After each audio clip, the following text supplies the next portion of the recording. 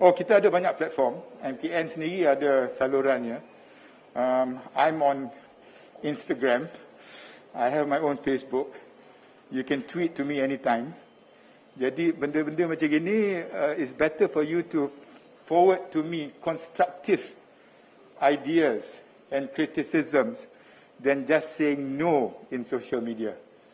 So I'm giving you all the opportunity to do that because I must admit, we do not have a monopoly to say that what we are doing is right.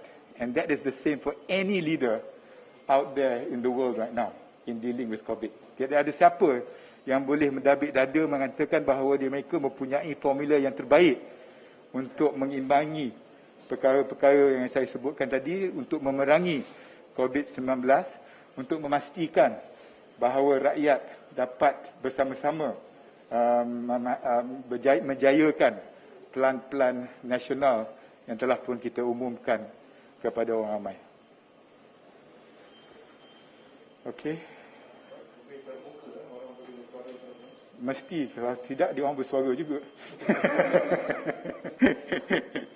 Lebih baik bersuara kepada orang yang boleh uh, membawa kesan yang positif. And since I've been appointed again today to lead this COVID response, it's better that they bersuara to me. Then I, I will give you the assurance that whatever they bring forward to me, I will really seriously put into consideration.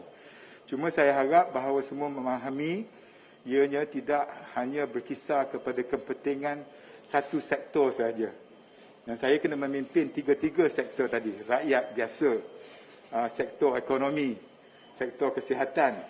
Jadi apa jua cadangan yang sampai kepada saya, saya kena bawa balik kepada um, uh, sidang teknikal uh, MKN dan akhirnya kepada uh, sidang khas yang dipengusikan oleh Yang Amat Muhammad Perdana Menteri sendiri.